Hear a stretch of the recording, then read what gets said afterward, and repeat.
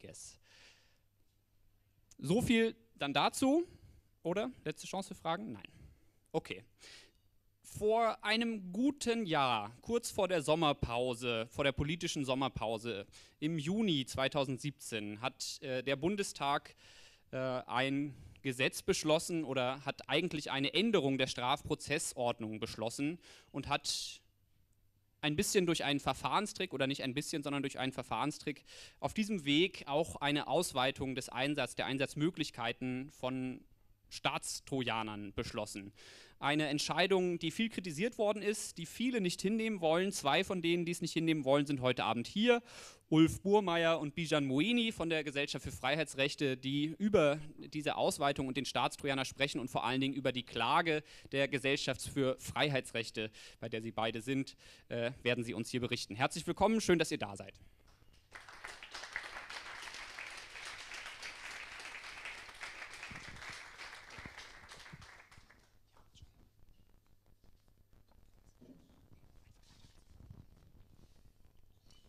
Ja, vielen Dank, Ingo. Ähm, vielen Dank für die Einladung an die DigiGuests. Ähm, wir freuen uns beide sehr, dass wir hier sind. Ja, ich mich auch. Ähm, genau, ja, vielen Dank auch für die nette Anmoderation. Genau. Äh, Hacking Karlsruhe, den Titel hat vielleicht der andere von euch schon gehört, den haben wir schon öfter verwendet für unsere Talks über Verfassungsbeschwerden, weil wir es einfach immer wieder versuchen wollen. Äh, warum eigentlich Hacking Karlsruhe?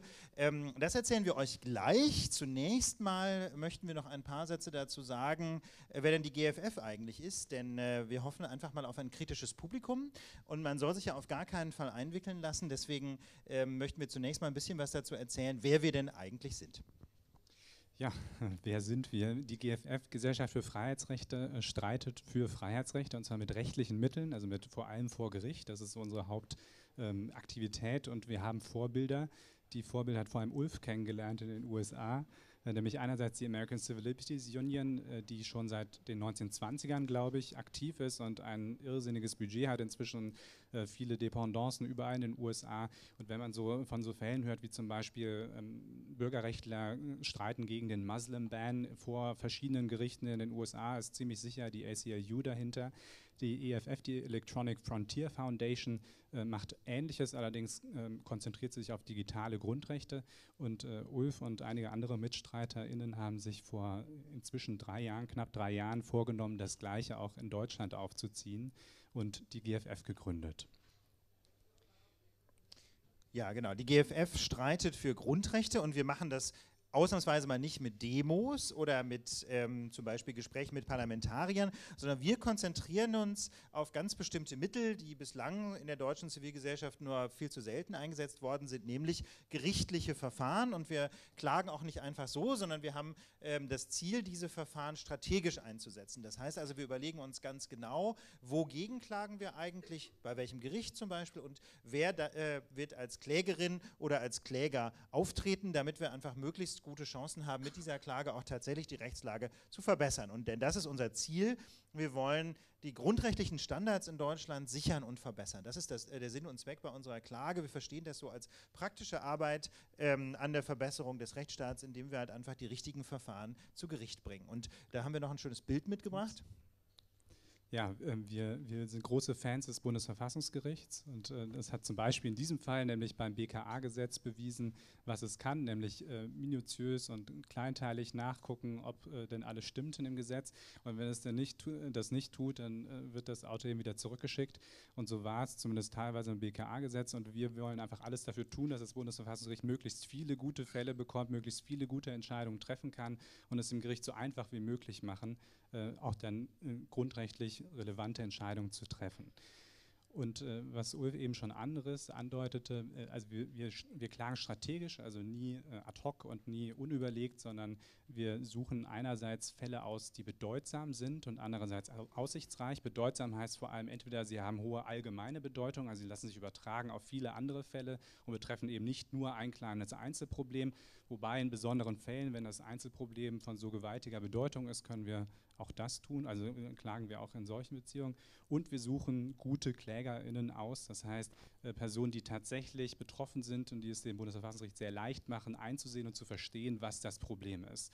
Und die dürfen auch gerne bekannt sein, weil ja, das hilft natürlich immer mal.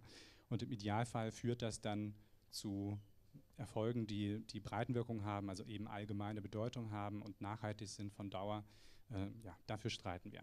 Aber nun zum aktuellen Fall.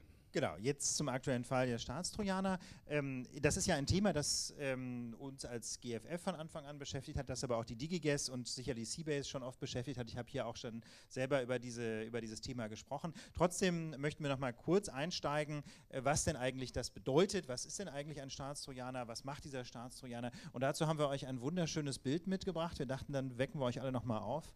Ja, wir haben ein schönes Symbolbild mitgebracht von einem ganz, ganz, ganz bösen Hacker. Äh, aber ähm, das, äh, das wirklich, wirklich nur so als äh, anstelle eines Katzenbildchens eigentlich, denn es geht ja gerade nicht darum, ähm, dass jetzt irgendwelche bösen Jungs mit Hoodie sich über ihren Laptop beugen, sondern ganz im Gegenteil. In diesem Fall ist es der Staat tatsächlich, der auf zwei Weisen äh, unser aller IT-Systeme unsicherer macht. Bijan. Ja, und auch genau darum geht es eigentlich auch nicht so sehr. Also nämlich um nationale Sicherheit geht es jetzt jedenfalls in dem Verfahren, das wir angestrengt haben, nicht. Äh, denn äh, also das sind so Fälle, wie eben der, die Geheimdienste dürfen, äh, dürfen Staatstrojaner einsetzen oder eben das BKA zu Zwecken der Vorbeugung, also um, Staat, um, um äh, Straftaten zu verhindern. Äh, vor allem nur Terrorismusstraftaten, ja, vor also allem nur extrem genau, schwere genau, Straftaten. Genau, Nur extrem schwere Straftaten, sondern bei uns geht es tatsächlich um den Staatstrojaner, zum, der eingesetzt wird zum Zwecke der Strafverfolgung. Ja, das ist ein ganz wesentlicher Punkt. Und das ist ein wesentlicher Punkt, insbesondere weil das sich nämlich auf die Zahlen auswirkt. Also wie gesagt, das Bundeskriminalamt darf seit 2009 Staatstrojaner einsetzen, um terroristische Straftaten zu verhindern, hat das aber bislang nur in einer einstelligen Zahl von Fällen getan. Also das sind jetzt Zahlen aus dem Jahr 2015, als die mündliche Verhandlung war zum BKA-Gesetz in Karlsruhe. Vielleicht sind es inzwischen 12 oder 15 Fälle, aber das BKA hat das extrem sparsam getan. Ähm, und das ändert sich jetzt gerade fundamental. Denn diese Rechtsgrundlagen, äh, um Staatstrojaner einzusetzen in, bei der Strafverfolgung, die können zu einem Masseneinsatz von Trojanern führen. Also die Rechtsgrundlagen erlauben den Einsatz von Staatstrojanern in 30.000 bis 40.000 Fällen pro Jahr. Man muss dadurch sehr deutlich sagen, das werden die Behörden gar nicht schaffen. Also wir gehen jetzt nicht davon aus, dass wir tatsächlich 30.000 Mal im Jahr Staatstrojaner-Einsätze sehen werden. Aber die Rechtsgrundlagen würden das zunächst mal zulassen. Und das ist schon einfach ein ganz grundsätzlicher Unterschied zu den paar Fällen, die es nach dem BKA-Gesetz gegeben hätte oder gegeben hat bisher. Und äh, Staatstrojaner werden in zwei Fällen eingesetzt oder für zwei Zwecke eingesetzt. Der eine äh, ist die Online-Durchsuchung, der andere ist die Quellen-TKÜ. Online-Durchsuchung ist relativ selbsterklärend, wenn der, dem, es dem Staat gelingt, Zugriff auf einen Computer zu nehmen. Mithilfe eines Trojaners kann er den Computer komplett durchsuchen, alles, was darauf ist, sehen und äh, ihn teilweise auch äh, manipulieren, wenn er denn möchte, für bestimmte Zwecke.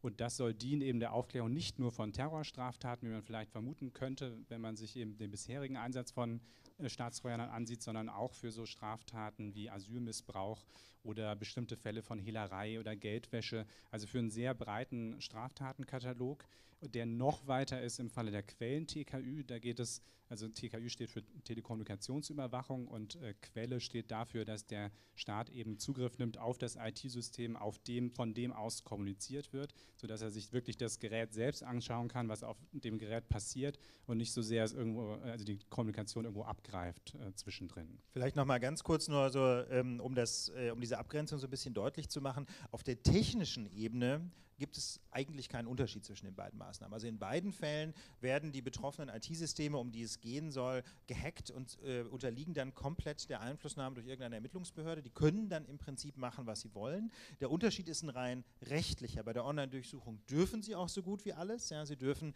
im Prinzip natürlich keine Beweismittel jetzt auf, dem System, äh, auf das System hochladen. Ja, also quasi bewusste Manipulation des Systems ist nicht erlaubt, aber sonst dürfen sie so ziemlich alles. Bei der Quellen-TKÜ hingegen dürfen sie nur laufende Kommunikation Kommunikation mitschneiden. Aber das ist quasi eine rechtliche Kastration dieser Maßnahme. Technisch können sie im Prinzip weiterhin alles. Ähm, das Bundeskriminalamt schraubt seit Jahren an einem, an einem Bundestrojaner, der angeblich auch tatsächlich nur laufende Kommunikation mitschneiden können soll. Ob das jemals klappen wird, steht in den Sternen. Also jedenfalls äh, die, äh, die Experten vom CCC haben damals 2007 war es, glaube ich, bei der Verhandlung in Karlsruhe zum Thema Staatstrojaner gesagt, sie glauben nicht, dass es gelingen kann, einen Trojaner zu entwickeln, der technisch auch wirklich nur Quellen-TKÜ kann. Also es ist sehr wahrscheinlich so, es ist natürlich extrem schwer zu beweisen, dass etwas nicht gehen kann technisch, aber ähm, es ist sehr wahrscheinlich so, dass man immer irgendwie der Behörde wird glauben müssen, dass sie nur laufende Kommunikation mitschneidet. Ähm, also wie gesagt, technisch ist es immer ein komplettes Kompromittieren des Systems und, da, äh, und man darf dann eben mehr oder weniger damit anstellen. Online-Durchsuchung der Full-Take, Quellen-TKÜ, Zugriff auf laufende Kommunikation, also keine Ahnung, WhatsApp-Calls, SMS, was immer so verschickt wird. Und äh, dagegen wenden wir uns jetzt auf zwei Ebenen. Die erste ist so die rechtlich naheliegendste eigentlich, in, in, auf die man sofort kommt, nämlich dass die Hürden für den Einsatz von Stra Staatstrojanern viel zu niedrig sind.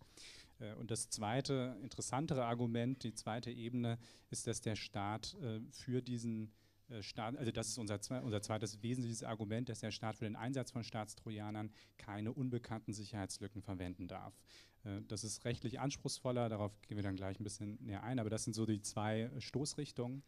Und ich werde jetzt mal. Und um das, um das, vielleicht noch ganz kurz so ein bisschen in den Kontext zu stellen, also das hier, die Hürden sind zu niedrig, das ist quasi das Oldschool-Argument. Ja, das wird im Grunde gemacht seit, äh, seit Mitte der 2000er Jahre, als die Diskussion so langsam anfing mit den Staatstrojanern. So die ersten Entscheidungen gibt es aus 2006, gab es eine Entscheidung vom Bundesgerichtshof. Ähm, also das war so die Zeit, als das langsam anfing. Ähm, da war, wurde von vornherein gesagt, also die Hürden für den Einsatz müssen extrem hoch sein, weil das einfach ein besonders schwerwiegender Eingriff ist. Im Grunde so der härteste Eingriff, den eine Ermittlungsbehörde vornehmen kann. Äh, wenn man äh, jemandem das Smartphone durchsucht oder den Laptop durchsucht, dann äh, gibt es im Grunde kaum noch Geheimnisse, muss man ehrlich sagen. Insofern ist es fast schon schlimmer als eine Hausdurchsuchung. Ähm, und das ist das Oldschool-Argument und das wird zum Beispiel, es gab ja mehrere Verfassungsbeschwerden gegen die Staatstrojaner jetzt, das wird auch von allen im Grunde gemacht. Ne? Das, äh, das ist so Standard. Das auf der rechten Seite, die Sache mit den Sicherheitslücken, das ist ein Argument, das als solches auch nicht neu ist, aber das in der juristischen Diskussion bislang ähm, relativ wenig Widerhall gefunden hatte. Und das haben wir jetzt ins Zentrum unserer Verfassungsbeschwerde gestellt. Dazu kommen wir gleich. Aber erst Oldschool. Genau, erstmal Oldschool. Ähm, Ulf hat im, Wesentlichen schon gesagt, was, was, oder klargestellt, was unser Ausgangspunkt ist, nämlich, dass es sich um den schwersten Grundrechtseingriff handelt, äh, den Ermittlungsbehörden äh, begehen können. Also es, selbst eine Hausdurchsuchung, auch der sogenannte große Lauschangriff, mit dem man äh, Live-Kommunikation innerhalb einer Wohnung äh, belauschen kann, ist nichts im Vergleich zu dem, was man heutzutage auf PCs, Smartphones und so weiter finden kann. Man kann theoretisch komplette Psychogramme erstellen von Personen. Es ist einfach alles da, alles verfügbar und auch viel mehr, als man früher über, also früher war Kommunikation war flüchtiger. Ein Brief wurde, wurde vernichtet, wurde weggeschmissen, äh, Telefongespräche waren weg und jetzt kommuniziert man viel häufiger über, über äh, Messenger und weiß nicht was. Das heißt, es sind einfach viel mehr, viel intimere Daten zugänglich, äh, verfügbar und damit zugänglich für Strafverfolgungsbehörden. Und natürlich sind auch immer Dritte mit betroffen, weil Kommunikation logischerweise immer mindestens zwei Parteien voraussetzt. Also sprich, der Grundrechtseingriff ist extrem schwer. Und wenn man von diesem Punkt, also von diesem Standpunkt erstmal aus, das ist, glaube ich, was, was auch niemand bezweifeln wird. Und wenn man daraus dann entwickelt, äh, oder der Schluss ist eigentlich zwingend, dass dann die Hürden auch entsprechend sehr hoch sein müssen und jedenfalls viel höher sein müssen als für alle anderen Maßnahmen, die es bisher gab. Und äh, das bedeutet einerseits, dass es nur bei wirklich schweren Straftaten überhaupt in Frage kommt, Staatstrojaner einzusetzen. Und wir sind auch nicht eine Organisation, die einfach per se sagt, wir finden Staatstrojaner schlecht. Ist, damit wir, hätten wir keinen Erfolg vor dem Gericht, ganz sicher nicht, sondern wir gucken uns ganz genau an, was, ist, was sind die Maßstäbe des Gerichts. Und das Gericht hat zum Beispiel eben gesagt, äh, in bestimmten Fällen, also zum Beispiel bei Terrorgefahr, kann der Einsatz von Staatstrojanern gerechtfertigt sein. Und ergo sagen wir auch nur bei solchen schweren Straftaten, bei denen sowas überhaupt noch denkbar ist, und Verfolgung ist auch immer etwas anderes als, ähm, als Prävention. Nur bei solchen sehr schweren Straftaten kommt es überhaupt in Betracht. Äh, Berufsgeheimnisträgerinnen müssen besser geschützt werden. Das wäre jetzt äh, zu detailliert, das auszuführen. Und vor allem das auch, was Ulf eben gesagt hat, dass man technisch eigentlich keinen Unterschied machen kann zwischen Quellen-TKÜ und Online-Durchsuchung, wird im Gesetz nicht wirklich abgebildet, weil äh, die Voraussetzungen für die Quellen-TKÜ viel geringer sind. Also es gibt viel mehr, der Straftatenkatalog ähm, ist viel weiter gefasst. Die Hürden für die äh, für den Einsatz sind viel geringer. Und äh, wie Ulf eben schon dargelegt hat, dafür gibt es eigentlich keinen technischen Grund, weil der Staat eben genauso viel Zugriff erhält wie bei der Online-Durchsuchung. Aber nun zur interessanteren zweiten Ebene. Ja, genau, da müssen wir so ein ganz kleines bisschen ausholen.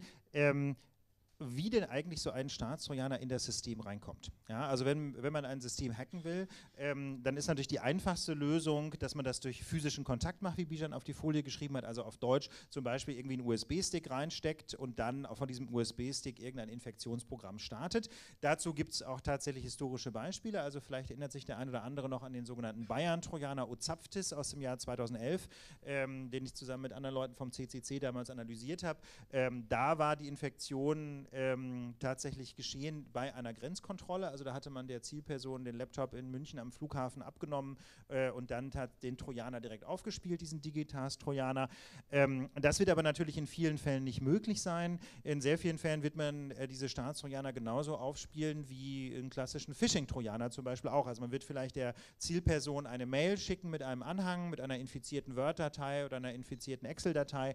Ähm, oder man kann es natürlich auch versuchen, ähm, oder man, genau, man braucht dann eigentlich für diese, ähm, für diese Infektion des Systems in den allermeisten Fällen irgendwelche Sicherheitslücken. Also wenn man das ähm, bei dem ersten nicht unbedingt, aber jedenfalls für die weiteren Methoden irgendwie ähm, E-Mail-Anhänge zum Beispiel oder eine andere Möglichkeit wären so sogenannte Drive-by-Downloads, ne, dass man versucht irgendein Bildchen einzublenden, das dann eine Sicherheitslücke in der Bildbearbeitungssoftware ausnutzt oder in, der, äh, in, den, in den Routinen die Grafiken anzeigen.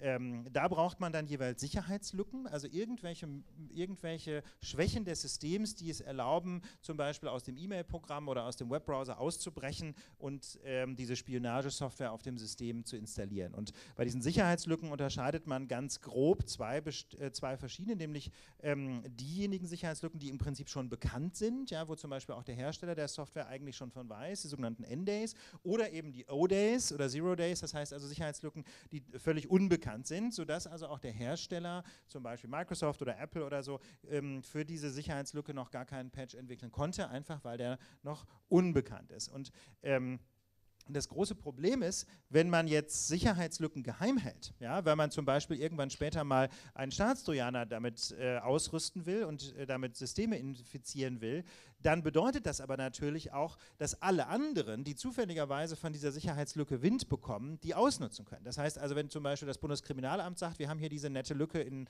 Apple iOS, ja, wenn ich jemandem eine, äh, eine iMessage schicke mit einem Bildanhang, dann kann ich das ganze System kompromittieren, super praktisch. Dann bedeutet das aber natürlich, dass nicht nur das BKA das tun kann, sondern jeder andere, äh, der, das, äh, der dieses System kennt. Also keine Ahnung, auch der türkische Geheimdienst kann das dann tun, um irgendwelche Dissidenten zu hacken.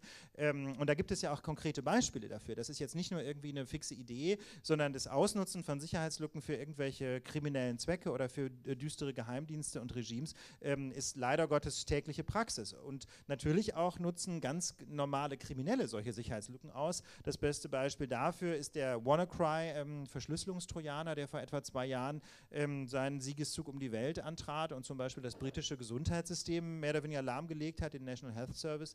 Ähm, das war eine Sicherheitslücke, die die NSA ähm, seit dem Jahr 2010, glaube ich, kannte. Das heißt, die haben die einfach jahrelang äh, geheim gehalten und in ihren Giftkoffer gelegt. Könnte ja mal praktisch sein.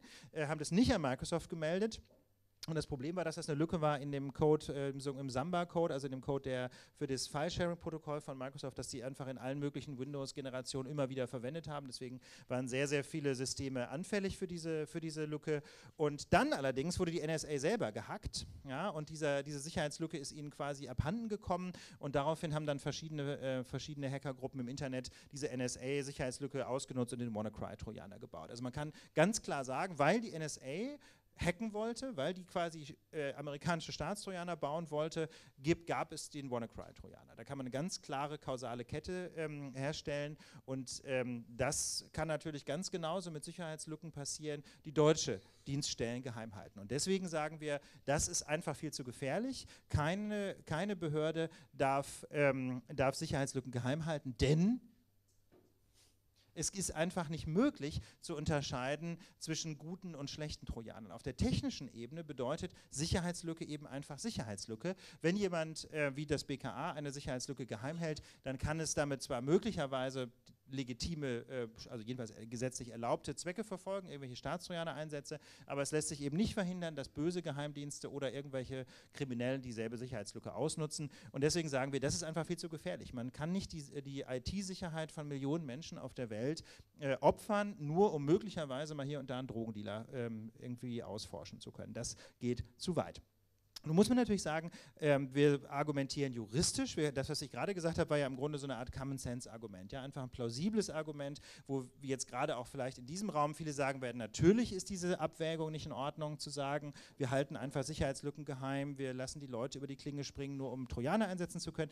Aber wir müssen natürlich das Ganze auch juristisch unterfüttern. Ja? Wir können nicht einfach nur sagen, das ist doch nicht klug, sondern wir müssen ja, gerade wenn wir vor das Bundesverfassungsgericht ziehen, auch verfassungsrechtliche Argumente dafür finden. Und die ähm, finden wir in diesem sogenannten Computergrundrecht. Also hier auf der Folie steht der offizielle Name, das ist das Grundrecht auf Gewährleistung der Integrität und Vertraulichkeit von IT-Systemen. Ja, sowas können sich nur Juristen ausdenken. Ähm, und diese, dieses Zitat stammt aus dem Jahr 2008, aus der Entscheidung des Bundesverfassungsgerichts zur Online-Durchsuchung, wo die in der Tat dieses Grundrecht neu erfunden haben.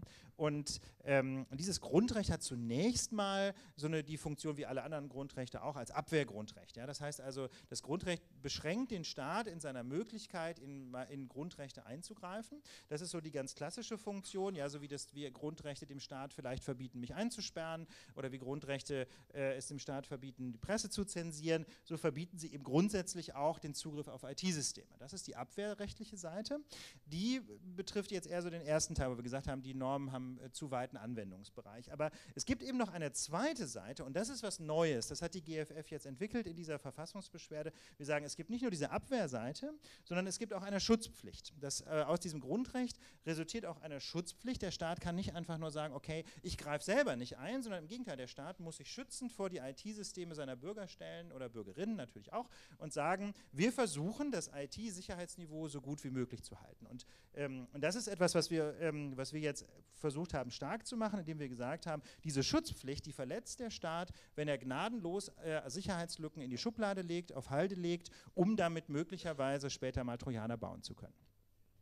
Ja, das ist im Prinzip die Schlussfrage aus den beiden Teilen, die Ulf jetzt gerade dargestellt hat. Also einerseits der Gefahr, die aus äh, der nicht also der, der Nichtübermittlung, Nichtmitteilung von ODAs an die Hersteller rührt. Und das kombiniert mit der Schutzpflicht, die der Staat eigentlich hat, führt uns dazu, äh, dass wir ähm, argumentieren, der Staat muss ODAs, wenn er denn Kenntnis davon erlangt, mitteilen und darf sie nicht ausnutzen. Er muss allermindestens ein ordentliches Management von Sicherheitslücken einrichten, auch gesetzlich unterfüttert einrichten. Das heißt, er muss, äh, er muss sich zwingen dazu, sie einzuordnen, sie zu bewerten, äh, ihr Gefahrenpotenzial zu erkennen. Er muss einen Zeitplan haben, wann er spätestens diese Sicherheitslücken mitteilt. Also das ist das Allermindeste, wenn man denn diese Schutzpflicht, wenn man uns folgt, überhaupt ernst nehmen will, weil irgendetwas muss der Staat tun, wenn er Sicherheits von, Kenntnis von Sicherheitslücken, äh, unbekannten Sicherheitslücken erlangt. Also äh, Analogie vielleicht, wenn, man, wenn der Staat jetzt irgendwie mitbekäme, dass äh, Wohnungstüren, äh, dass, dass Wohnungsschlösser äh, irgendwie eine Sicherheitslücke haben, eine Schwachstelle haben, die theoretisch jeder ausnutzen kann und sie nur deshalb geheim hält, weil er manchmal äh, leichter in die Wohnung reinkommt selbst, das würde auch niemand tolerieren und genauso wenig darf es der Staat zulassen, dass er unbekannte Sicherheitslücken im IT-Bereich nicht weiterleitet. Ja, das ist so in Kürze unsere Argumentation. Ihr könnt natürlich gleich Fragen stellen, aber. Genau, und vielleicht auch nochmal der Hinweis auf unsere Homepage. Also, ähm, wir sind ja weit überwiegend durch Spenden finanziert und deswegen legen wir extrem großen Wert auf die Transparenz unserer Arbeit und ihr findet deswegen unsere Verfassungsbeschwerde zum Download auf unserer Homepage. Ne? Es, äh, ist natürlich da. Nicht, nicht, also nicht genau, bei Join, das ist für Join alle, die, uns so die gut finden. Genau. Aber bei freiheitsrechte.org, ähm, da findet ihr verlinkt alle unsere Verfassungsbeschwerden, unter anderem auch die zum Thema Staatstrojaner und äh, könnt das da auch nochmal durchlesen. Da findet sich eine Einleitung, äh, die enthält etwa das, was wir heute gesagt haben und im hinteren Teil gibt es dann auch nochmal die genauere juristische Argumentation. Und eine Minute wollten wir verbringen auf unsere Fälle, die wir gerade vorbereiten. Also unter anderem wollen wir gegen das Bayerische Polizeiaufgabengesetz klagen. Das war hier, glaube ich, auch schon Gegenstand. Äh, das wird in den nächsten Wochen ähm, öffentlich oder da werden wir eine Klage vorstellen, eine Verfassungsbeschwerde vorstellen. Wir wollen gegen die Speicherung von Fluggastdaten äh, klagen, die wie wir heute erfahren haben, seit dem 28. August tatsächlich läuft. Also das BKA sammelt von allen Fluggastunternehmen Daten über Personen, die aus Deutschland heraus oder nach Deutschland hereinfliegen, auf europäischer Grundlage. Äh, und auch einen ordentlichen Datensatz von über 20 Datenpunkten äh, pauschal über jeden und lässt darüber irgendwelche Muster laufen, die darauf hindeuten sollen, ob jemand äh, gefährliche, möglicherweise verdächtige Reisebewegungen äh, durchführt. Äh, dagegen werden wir klagen, gegen Aus das Auslesen von Smartphones von Geflüchteten und äh, was wir noch überlegen, ist äh, gegen das bayerischen, den bayerischen Kruzifixerlass vorzugehen. Also Söder hat ja angekündigt, und das ist auch tatsächlich schon umgesetzt in großen Teilen von Bayern, in allen staatlichen Behörden Kreuze in den Eingangsbereichen aufzuhängen, womit wir auch ein Problem haben. Und ja, schon angedeutet, also wer, wer, uns so gut findet, all das so gut findet, dass er es auch unterstützen möchte, findet da hinten ein bisschen äh, Unterlagen, die ähm, äh, Kira netterweise mitgebracht und dort ausgelegt hat. Und äh, jetzt sind wir offen für Fragen, oder? Also so ist das Format vorgesehen. Genau, erstmal vielen Dank, dass wir hier sein durften. Ja, vielen Dank euch und der Gesellschaft für Freiheitsrechte für diese wertvolle Arbeit und dass ihr uns hier davon berichtet habt. Jetzt gibt es die Möglichkeit für Fragen und Kommentare. Wir fangen, mal, wir fangen mal hier vorne an. Ja, vielen Dank für euren Vortrag. Ich hätte noch eine Anmerkung. Das Problem bei diesen Zero Days ist ja auch, dass der Staat auch Sicherheitslücken geheim hält, die wiederum Computersysteme betreffen, die im Staat hoheitliche Aufgaben übernehmen. Also da stellt sich der Staat auf der einen Seite dann blind. Natürlich wäre, würden sie quasi diese Zero-Ds verraten, wenn, wenn die staatlichen Systeme dagegen geschützt würden. Also das ist, denke ich, auch ein Argument, was ihr anwenden solltet. Und ähm, falls ihr noch, äh, ich weiß nicht, seit den 50er Jahren haben Juristen dafür gekämpft, dass die Weisungsbefugnis äh, über Staatsanwaltschaften mal aufhört, weil man effektiv ja keine echte, ernsthafte Gewaltenteilung dadurch weil Staatsanwaltschaften, also wie sagt man das, Weisungs, äh, ihr kennt den Ausdruck dafür, genau. Okay, also eigentlich zwei Fragen oder Anregungen, wollt ihr ähm, ja, zu der ersten, also wir haben tatsächlich auch ein bisschen was dazu vorgetragen, nämlich ist es tatsächlich so, dass äh, die Bundesregierung da total schizophren ist, weil diese beiden Funktionen, also einerseits den Schutz der äh, IT-Sicherheit auch der deutschen Behörden und andererseits die Kompetenz, diese Sicherheitslücken auszunutzen, beide dem BMI unterstehen. Also es ist auch nicht so, als wäre das institutionell getrennt und natürlich ist da, also hat man auch, als man äh, den Staatstrojaner eingeführt hat, nicht daran gedacht, dass es eigentlich eine Behörde geht, äh, gibt, die genau das Gegenteil machen soll und auch das Gesetz nicht ents entsprechend abgegradet, dass es eben zum Beispiel eine Pflicht gibt, dass O-Days wenigstens gemeldet werden müssen. Äh, und zu dem zweiten Punkt, ja, das ist, glaube ich, eine sehr allgemeine Diskussion. Also das Argument ist, ist sehr alt, wie du sagst, und äh, das wird wahrscheinlich auch noch, fürchte ich, eine Weile dauern, bis wir das in Deutschland ändern. Ich weiß nicht, ob okay. Ja. Dann machen wir hier vorne weiter. Hi, äh, in meinem begrenzten Wissen hatte ich bis jetzt immer das Gefühl, dass irgendwie unterschätzt wird, was passiert. Also solche Sicherheitslücken kann man ja auch reverse engineeren, also gucken, was weiß die Sicherheitslücke. Und ich kann mir überhaupt nicht vorstellen, wie das gedacht sein soll, wenn man jetzt hier irgendwie 30.000 Einsätze hat und ich sag mal, bei jedem Zehnten wird das gehackte Handy oder die entsprechende Mail, wo der Exploit drin war, wird an jemand vom CCC gespendet oder so.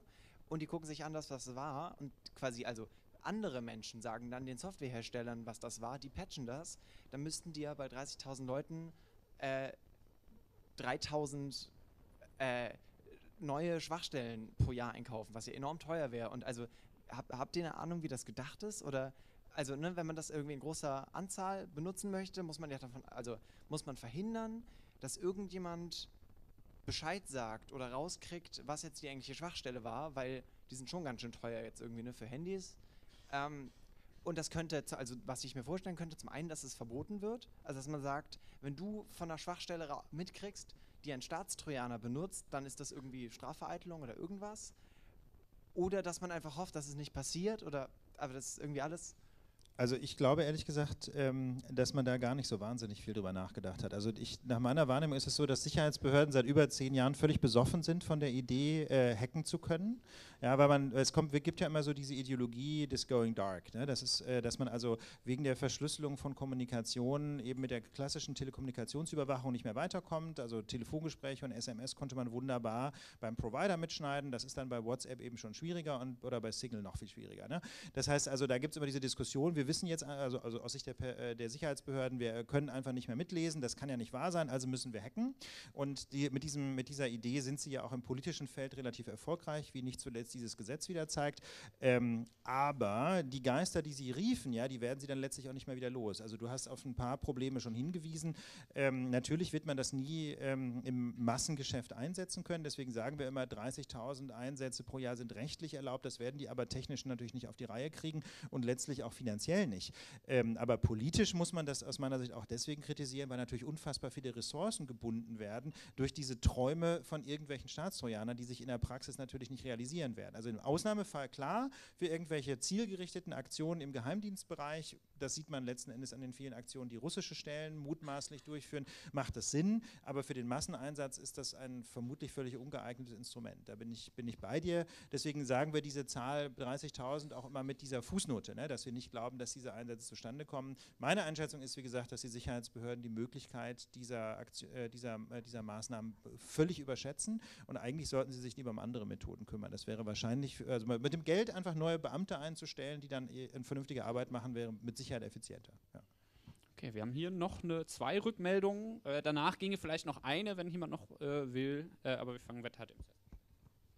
Ähm, wäre es nicht ein leichtes fürs Verfassungsgericht, dann zu sagen, es muss für die jeweilige Sicherheitslücke eben eine Abwägung geschehen, ob die jetzt verbreitet ist wie eine Windows-File-Sharing-Lücke äh, oder halt eben äh, nur eine sehr spezielle Software mit einem sehr kleinen Teilnehmerkreis, betroffenen Kreis betrifft? Also, wäre, also, wie würdet ihr dagegen argumentieren? Also unsere Argumentation ist, dass das, äh, dass das Geheimhalten von Sicherheitslücken generell nicht zu rechtfertigen ist angesichts der äh, großen Gefahren für die IT-Sicherheit allgemein.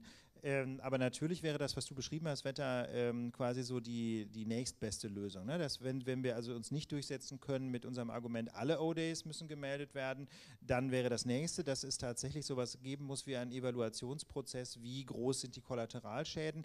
Ähm, aber auf der anderen Seite würde ich immer sagen, naja, ein, eine Sicherheitslücke, die nur einen ganz schmalen Anwendungsbereich hat und deswegen dann vielleicht ähm, nur ein schmales Risiko von Kollateralschäden, die bringt aber natürlich auch nur ganz wenig in der Anwendung. Ne? Also das heißt also, dann verändern sich quasi beide Seiten der Waage und insofern glaube ich nicht, dass, es, dass man im Ergebnis dann zu Situationen kommt, wo es, äh, O-Days gibt, die quasi so wenig gefährlich sind, aber trotzdem so super nützlich, dass man sie doch mal ge geheim halten muss. Ich glaube das nicht, aber klar, das hängt so ein bisschen auch davon ab, wie, wie viel Interesse das Bundesverfassungsgericht hat, da einzusteigen. Das muss man sehr deutlich sagen. Also 2008 haben sie ähm, relativ viel Mühe in diese Entscheidung gesteckt. Äh, die, die Entscheidung zur Online-Durchsuchung ist sehr lang und sehr ausführlich und in den meisten Punkten sehr gut. Äh, die Ausnahme ist, glaube ich, dass sie die Quellen-TKÜ erlaubt haben, ja, und zwar unter niedrigen Voraussetzungen. Das ist halt der Dammbruch der, und das ist halt die Hintertür, die jetzt immer genutzt wird, um Trojaner zum Masseninstrument zu machen. Das war sicherlich ein Fehler, äh, aber ansonsten ist die Entscheidung sehr gut. Wir können alle nur hoffen, dass sie dieses Mal die Verfassungsbeschwerde der GFF, wir sind leider die Einzigen, die das, äh, die das Argument stark gemacht haben, ähm, dass sie die Verfassungsbeschwerde der GFF zum Anlass nehmen, da mal genauer darüber nachzudenken, wie der Staat mit Sicherheitslücken umgehen muss.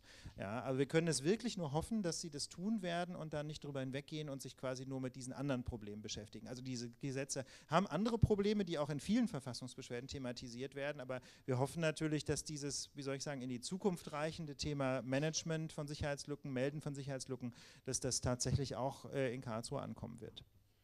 Okay, machen wir hier hinten weiter. Ja, hallo. Ich wollte mal zu dem Management äh, der Sicherheitslücken fragen. Das ist so ein bisschen so eine Minimallösung, auf die ihr zumindest äh, peilt. Ähm, wäre es nicht schon jetzt möglich, äh, aus dem parlamentarischen Kontrollgremium gewissermaßen äh, sich auflisten zu lassen, was habt ihr eigentlich im Giftschrank?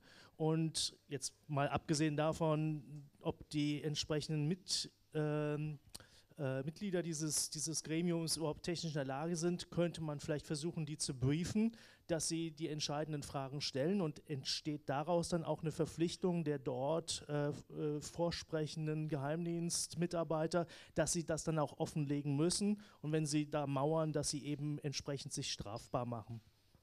Also da muss man sehr deutlich sagen, dass äh, das kann ein Weg sein, äh, dass da ein paar Leute im PKGR hinterher Bescheid wissen, aber das ist natürlich gerade nicht der Weg für die gesellschaftliche Debatte, die wir darüber brauchen. Ne? Und du hast das Problem schon angedeutet, die Leute im PKGR sind im Zweifel technisch gar nicht in der Lage, das wirklich einzuschätzen, ob ein solches Schwachstellenmanagement tauglich ist.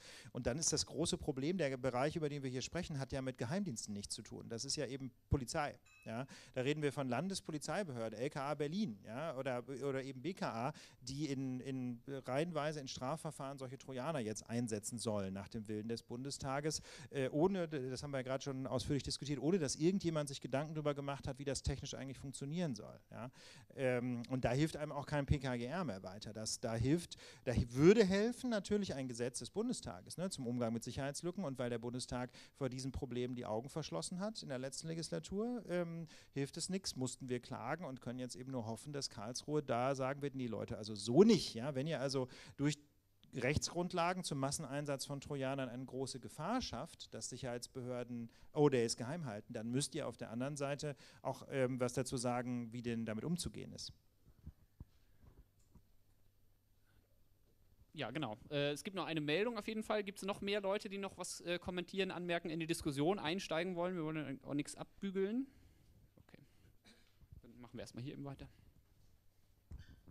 Das Innenministerium arbeitet gerade so ein Schwachstellenmanagement und das wird fertig sein, ehe die Klage in Karlsruhe verhandelt wird.